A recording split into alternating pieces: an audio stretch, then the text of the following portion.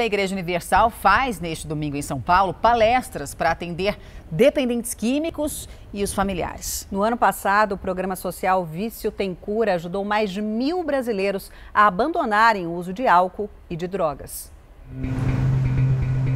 Vídeos mostram guardas municipais revistando frequentadores da Cracolândia em busca de drogas, armas e cachimbos.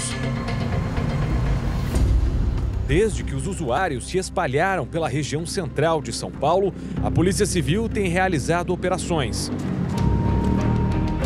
A presença de usuários em ruas e avenidas da capital paulista expõe um problema que se agravou durante a pandemia: o aumento no número de dependentes químicos.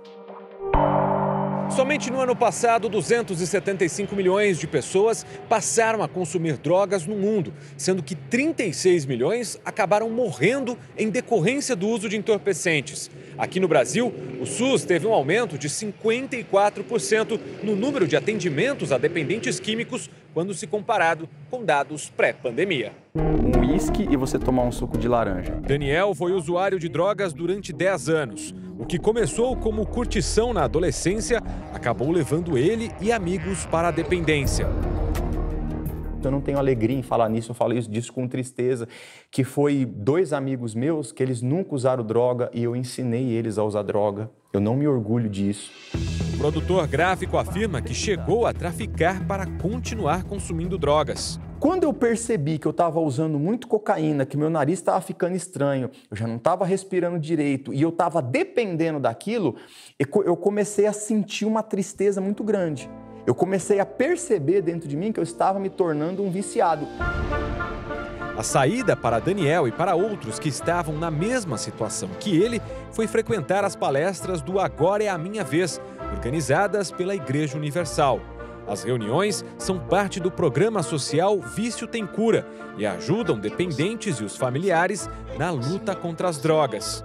Na clínica, a mãe, a família não pode se internar pelo viciado. Mas nesse tratamento, a mãe pode vir participar representando o familiar. A esposa pode vir representando o marido. O avô, a avó pode vir representando os netos.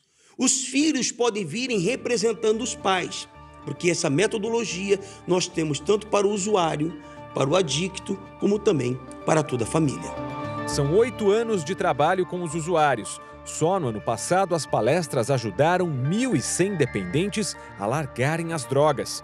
As reuniões acontecem aos domingos. A próxima já é amanhã, em dois horários, 3 e 6 da tarde, na Igreja Universal, em Santo Amaro, na Zona Sul de São Paulo.